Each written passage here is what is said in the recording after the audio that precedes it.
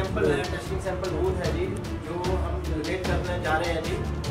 और ये एक बूथ जिसमें कोरोना पेशेंट का सैंपल लिया जाएगा जी। अपने सोशल डिस्टेंसिंग जो भी प्रशासन ने हमें समय समय पर आदेश दिए हैं उसको मेंटेन करते हुए मास्क पाना ज़रूरी है मास्क पाकर रखो।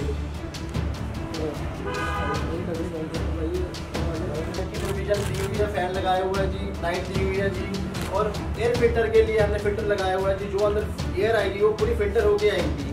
और साथ सैंपल है टेस्टिंग सैंपल बूथ है जी, जो हम जनरेट करने जा रहे हैं जी।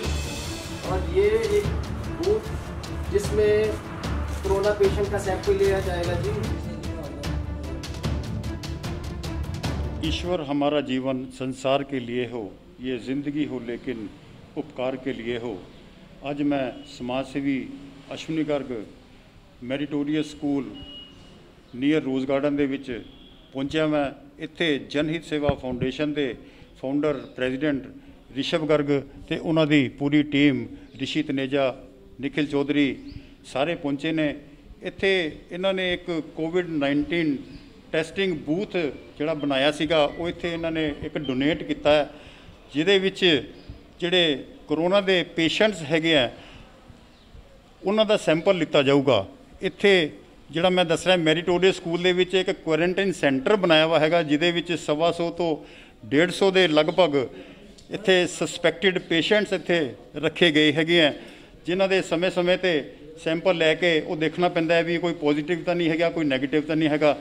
ਤੇ ਮੈਂ ਇਹ ਜਿਹੜਾ ਇੱਕ ਬੂਥ ਇਹਨਾਂ ਨੇ ਬਣਾਇਆ, ਇਹਦੇ ਵਿੱਚ ਪ੍ਰੋਪਰ ਇਹਨਾਂ ਨੇ ਲਾਈਟਿੰਗ ਦਿੱਤੀ ਹੈ ਪ੍ਰੋਪਰ ਇਹਨਾਂ ਨੇ ਫੈਨ ਦਿੱਤਾ ਹੋਇਆ ਹੈ ਪ੍ਰੋ- ਮੈਂ ਰਿਸ਼ਵ ਗਰਗ, ਜਨਿਤ ਸੇਵਾ ਫਾਊਂਡੇਸ਼ਨ ਵੱਲੋਂ ਅੱਜ meritorious school near Rose Garden ਆਇਆ ਜੀ। ਇੱਥੇ ਕੁਆਰੰਟਾਈਨ ਸੈਂਟਰ ਬਣਾਇਆ ਹੋਇਆ ਜਿੱਥੇ ਕਰੋਨਾ ਪੇਸ਼ੈਂਟ ਦੀ ਸੈਂਪਲਿੰਗ ਲਈ ਜਾਂਦੀ ਹੈ। ਅੱਜ ਅਸੀਂ ਇੱਥੇ ਸਰਕਾਰ ਨੂੰ ਕਰੋਨਾ ਸੈਂਪਲਿੰਗ ਟੈਸਟਿੰਗ ਬੂਥ ਹੈ, ਜਿਹੜਾ ਕਿ ਡੋਨੇਟ ਕਰ ਰਹੇ ਹਾਂ ਜੀ, ਜਿਹਦੇ ਵਿੱਚ ਤਕਰੀਬਨ ਰੋਜ਼ 100 ਤੋਂ ਅਬਵ ਪੇਸ਼ੈਂਟਸ ਦੀ ਟੈਸਟਿੰਗ ਕੀਤੀ ਜਾਊਗੀ ਜੀ।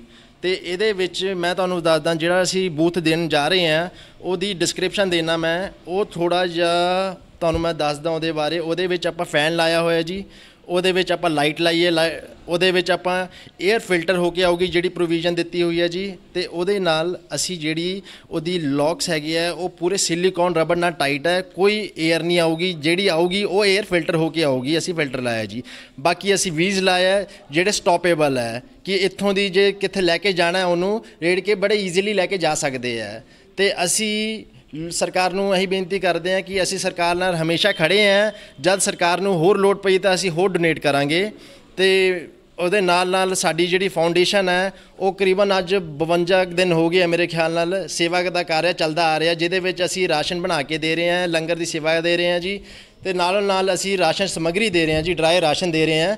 ਕਰੀਬਨ 100 ਬੰਦਿਆਂ ਨੂੰ ਰੋਜ਼ ਦੇ ਰਹੇ ਹਾਂ। ਬਾਕੀ 1000 1500 2000 ਲੋਕਾਂ ਨੂੰ ਰੋਜ਼ ਦਾ ਖਾਣਾ ਬਣਵਾਉਣ ਕੀ ਉਹ ਦੇ ਰਹੇ ਹਾਂ ਜੀ। ਲੁਧਿਆਣਾ ਵਾਸੀਆਂ ਨੂੰ ਇਹੀ ਮੈਸੇਜ ਦੇਣਾ ਚਾਹੁੰਦੇ ਹਾਂ ਕਿ ਅਸੀਂ ਲੁਧਿਆਣਾ ਵਾਸੀਆਂ ਲਈ